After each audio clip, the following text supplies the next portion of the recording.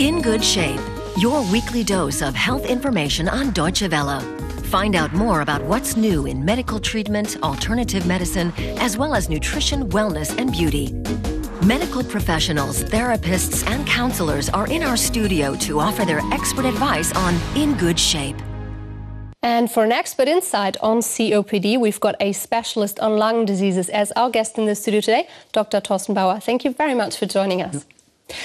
Dr. Bauer, you've treated many, many patients with COPD. What exactly happens there in the lungs?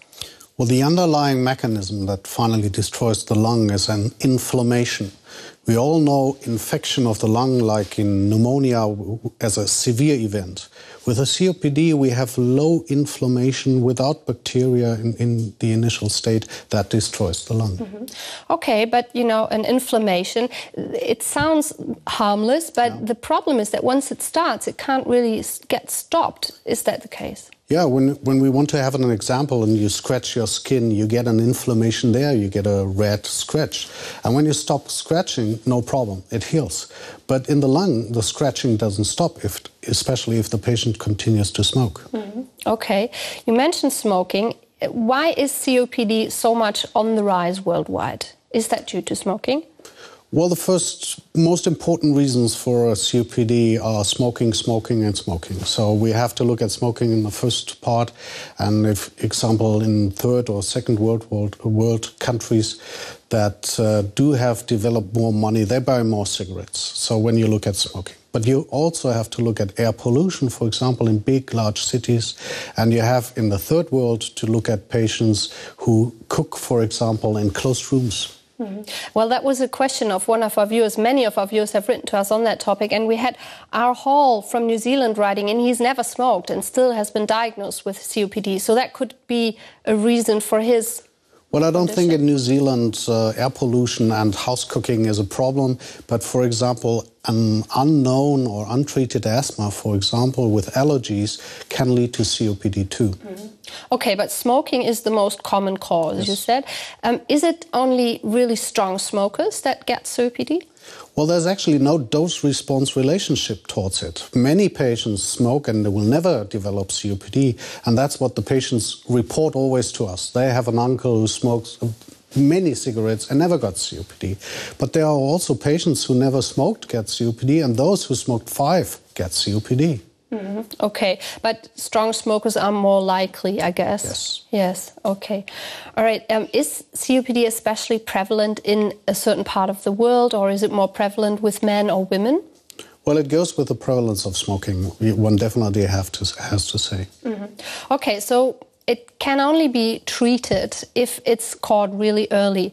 What are sort of typical warning signs that especially smokers then should be aware of? Well, persistent cough is one of the most important signs combined with dyspnea. So it would help if the patient monitors his dyspnea, like uh, going upstairs in a certain way. Mm -hmm. Okay, so cough, breathlessness. Yes. And then what should you do? Are there checkups you should be getting as a smoker? Yeah, there's a very reliable checkup that's a lung function test that can be done with any physician who has this instrument. Uh, and how does it work? What, what do you need to ask for? Well, we, we try to test the lung function, and you, you need to, uh, it's a pulmonary function test. We have a little instrument for that, and you have to blow into this instrument to measure lung function. Okay, so you, as a smoker, maybe that's an idea. Uh, if you can't stop smoking, which you should get that test done regularly. Yeah, it doesn't mm. hurt. Dr. Bauer, treating the lungs with hot steam or inserting a valve, how promising are these methods from your experience? Well, we saw two very promising patients there, and I have to say, from my experience, there are other patients who don't really profit from that. It's uh, it's a method for stage four patients or for the very sick patients, and it needs a good selection to help those. Mm -hmm. You mentioned stage four. You classify COPD uh, into four stages. Yeah. Um, how do you treat uh, normally, or how do you treat most patients in these different stages? Well, we have very trivial instruments. We treat the COPD where it happens in the lung, and we have those metered dose inhalers, so it's actually a steam you can inhale, and that will not heal the lung, but it will help you to get better.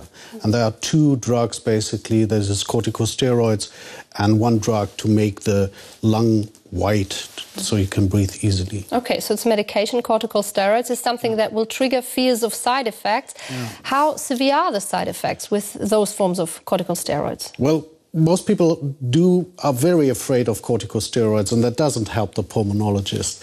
So what we put into the drugs that go into a lung is only a tiny part of what you actually need to swallow when you get really sick with copd so uh, the amount of medication that you take through that inhaler is very small. Is that what you're saying? It's almost nothing compared to what you get when you need to be hospitalized for COPD. For example, when we have the first shots of uh, corticosteroids in the hospital, we put into the patient on one day what he usually has in one year. Okay, so it would be much better to actually take the inhaler oh, yeah. because you have a smaller dose.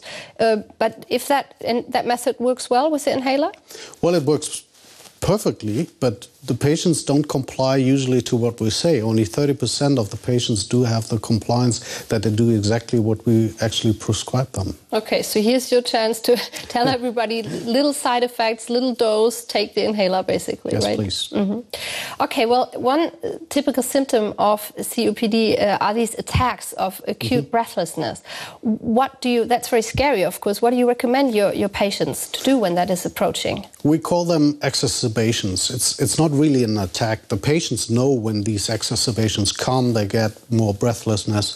So, what we recommend is to go to the doctor early, then you're out early again out of the hospital. Mm -hmm. Go and see a doctor straight yes, away, please. basically. Okay. Um, what else can a patient do to improve their condition? How, what about exercise, for example? Well, exercising is perfect because, first of all, you know what your lungs can do for you because when, if you're sitting around or go to the refrigerator, you will never experience breathlessness. But walking around a lake, for example, will tell you that you're breathless, and then you do something for you. Mm -hmm. The other thing is vaccination is very important in COPD, and we recommend vaccination against influenza and pneumococci. Okay, so that might help uh, your chances of not catching it in the first place, or when you have it? No, when you have it, because it avoids the, the additional infection of the lung with okay. these two microorganisms. All right, so there is a lot that can be done, but still the main message is don't smoke yes. because it might happen. Yeah. Okay, well, thank you very much for taking the time. Thanks for being our guest today.